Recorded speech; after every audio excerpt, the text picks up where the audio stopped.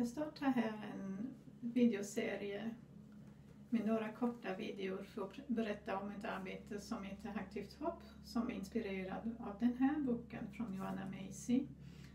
Eh, och innan jag börjar berätta lite mer om Aktivt hopp så vill jag gärna berätta lite mer om mig själv. Vad, vad är det jag brinner för, vad jag håller på med.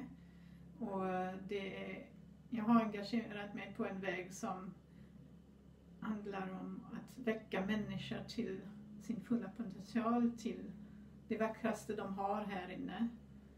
Och, eh, så att de uttrycker det så att de skapar, kan bidra och skapa den värld vi alla längtar efter. Eh, en värld där vi är fullt levande, lever i harmoni med varandra, med omgivningen. Och varför aktivt hopp? Vad är det för någonting? Det är som sagt ett arbete som Joanna Macy, en amerikansk kvinna, har utvecklat under några decennier för människor som engagerar sig för olika stora frågor för miljö och samhället. Och hon har märkt en del saker som, som händer med dessa människor när de är engagerade en längre tid. Och hela arbetet den vänder sig både till dig som har redan varit aktivt rätt så länge och till andra som funderar, men hur kan jag göra någonting som gör en skillnad? Vad, vad kan jag överhuvudtaget göra? Så det är ett arbete där vi förstärker varandra, får nya perspektiv för att kunna göra det vi känner är rätt inom oss. Och vad är det som har fått mig att fastna för just det arbetet? Just för aktivt hopp. Det är själva definitionen som jag älskar väldigt mycket. För när vi brukar prata om hopp så pratar vi ofta i vanliga fall så säger vi ja men jag hoppas att det löser sig, jag hoppas att någon gör någonting. Så det är någonting vi lägger här ute. Så andra ska ta hand om det här så att jag kan också leva i den här världen som jag vill leva i. Det är ganska passivt.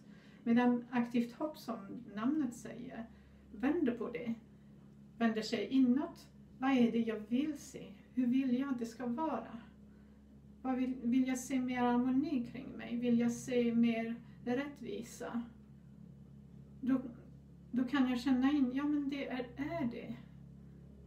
Och då, då är det, ja, det här vill jag se. Och då gör jag ett steg och ett steg, gör någonting för det. Och jag behöver inte heller veta om jag kommer lyckas. Det viktigaste är att jag gör någonting åt det hållet jag vill komma till. Och Joanna Macy har en väldigt fin berättelse kring det som eh, illustrerar det här. Och när hon reste till Tibet för ett antal år sedan hon besökte buddhistiska munkar som höll på att återbygga en tempel som hade varit eh, förstört av den kinesiska regeringen. Och eh, så efter några år så fick de komma tillbaka och börja bygga om. Och där pågick arbetet och det var långsamt och mycket arbete kvar att göra. Och så undrade Joanna Macy, men kan ni vara säkra att det inte kommer ett ny, nytt våg äh, förstörelse? Eh, hur, hur orkar ni jobba och göra det här så långsiktigt arbete med det? Och så svarade en munk till henne att ja, det kan vi inte vara säkra på hur kineserna kommer att tänka framöver. Men det jag vet är att om vi inte bygger nu, det här templet kommer aldrig bli. Så det enda sättet att det här templet ska bli är att vi bygger. Resten får ödet bestämma. Så det är det som är andan och attityden inom aktivt hopp.